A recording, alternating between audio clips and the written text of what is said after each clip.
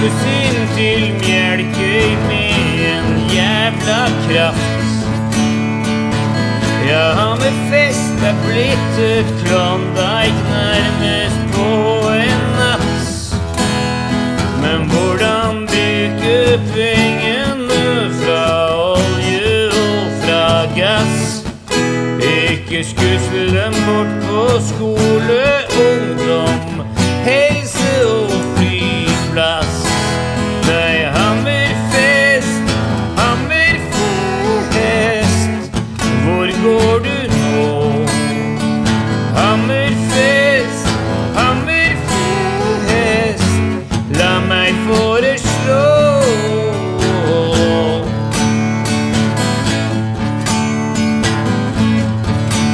Hva da?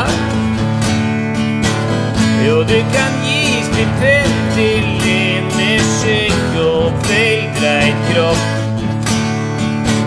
Som kommer sørfra med en god plan for hvordan pengene kan brukes opp.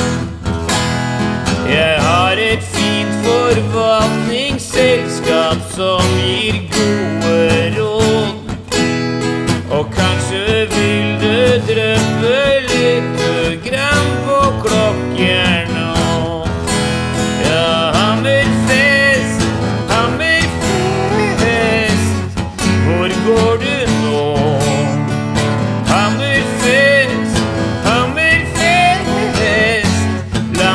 foreslå noe du kan bruke pengene på.